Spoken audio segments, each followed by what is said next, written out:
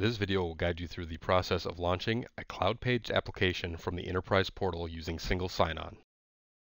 In order to complete this video, you will need a computer running a Cloudpaging player on one of the supported Windows operating systems listed on this screen and a configured Enterprise portal.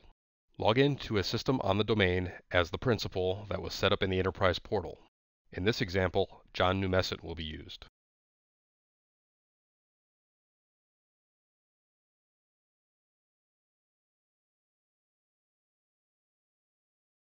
Single sign-on will only work if Internet Explorer is used and the server host name matches the exact host name of the Cloudpaging server.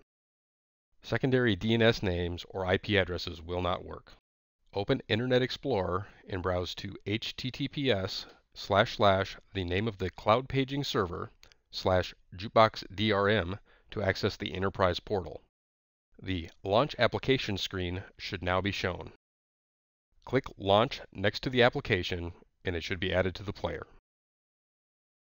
If the login screen is shown, ensure IE is being used and the hostname used in the URL matches the hostname of the Cloudpaging server.